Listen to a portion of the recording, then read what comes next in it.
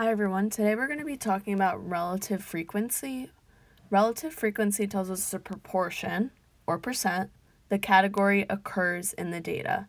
We express our relative frequencies as a fraction, a decimal, or a percentage of the total number. So if we think back to last week when we were starting to talk about our data, we used these tables, which we called two-way tables.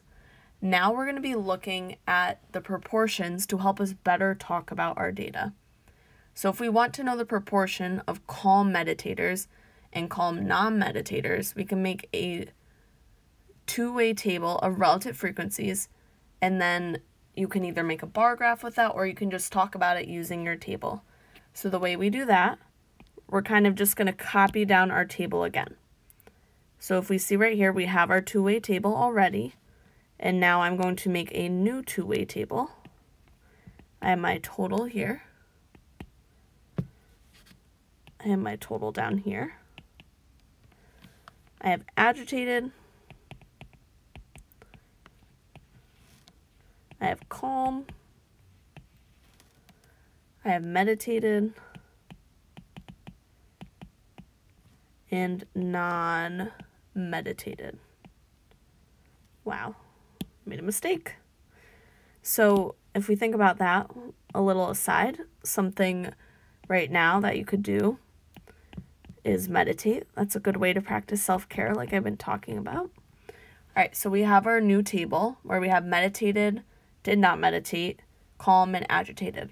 So just to remember what we were talking about again, we're trying to figure out the proportion of calm meditators and non-calm meditators. So a proportion means that you're going to be making a fraction. This down here is going to have a total, and this right here is going to be the number of times it happens. So if we're looking for the proportion of calm meditators and calm non-meditators,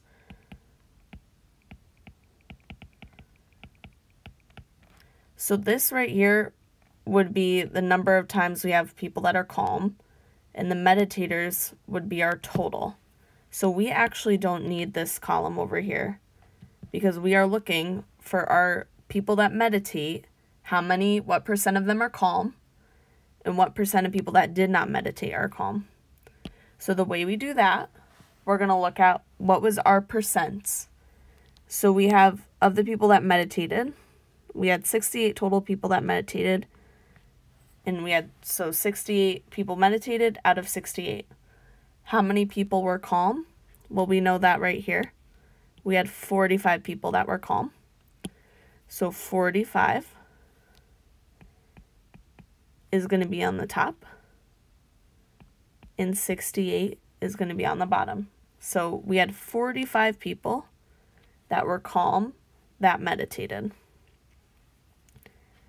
Agitated similarly would be 23 over 68. Did not meditate. How many people were calm and did not meditate? Take a minute to think about that. Do you know how many people were calm but they did not meditate? Awesome. I agree with 8. However, we have a new, new total for those people that did not meditate. Do you know what was the total number of people that did not meditate? Awesome, 29. Then we have 21 over 29. And then we have 29 over 29. So because we were looking at the people that were meditating, so we were looking at whether they were calm versus agitated you can see that we have our percents right here. This would be 100%. This would be 100%. Just like when we were filling in our two-way tables, we want our data going down this way to add up to 100%, and this going down this way should add up to 100%. Similarly, if we're going across this way and we were looking at what percent or what proportion of meditators were calm, we would have 45 over 53. What percent of those that did not meditate were agitated, we would have 21 over 44. So right here, we can also make these into, whoops, we can make these into percents. So 45 over 68 is 66%. 23 over 68, that is 34%. 8 over 29 is 28%. And 21 over 29 is 72%.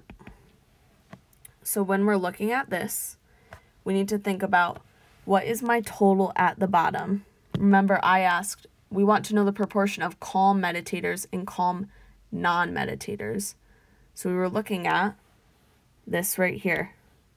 What was our calm meditators versus calm non meditators?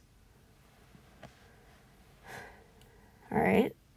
Let me know if you have any questions about that. We need to be careful readers when we're reading. Usually the question will be a little bit more obvious as to what way we're going to be traveling and adding our data. If we want to look at, sometimes it would ask a question of what's the total, uh, like how many people were calm out of the total, what proportion of people were calm out of the total people surveyed. That would be 45 over 97.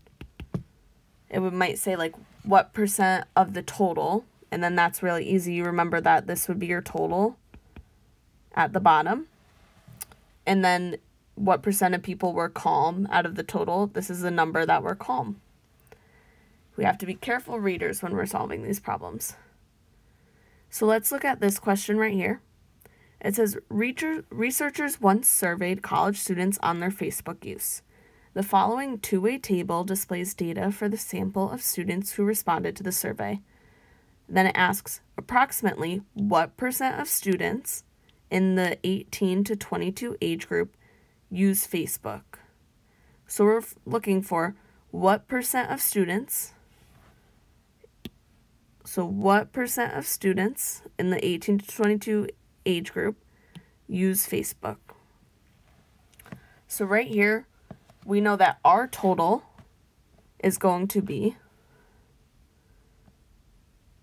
right here. Our total is going to be students in 18 to 22. And then right here is going to be the number that use Facebook. Sometimes our questions will be in the form like what percent of. So think of back to maybe seventh grade when you were writing proportions and you have is and over of. That sometimes gives you a clue on how you should write your percent or your proportion. So right here, if we look at that, let's see. It said approximately what percent of students in the 18 to 22 age group use Facebook? So let's look at our two-way table that we have right here. Can you take a minute to think about how many students were surveyed? What is the total number of students surveyed that were 18 to 22 years old?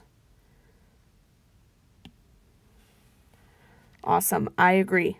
82 students were surveyed and they were 18 to 22 years old.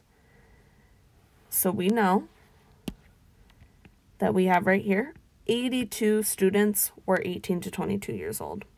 Now let's look at our two-way table. Can you figure out of those people that were 18 to 22, how many of them used Facebook?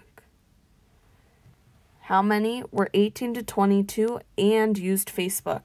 Think about our battleship game. How many were 18 to 22? We're going to look this way. And then we're going to think about how many people used Facebook.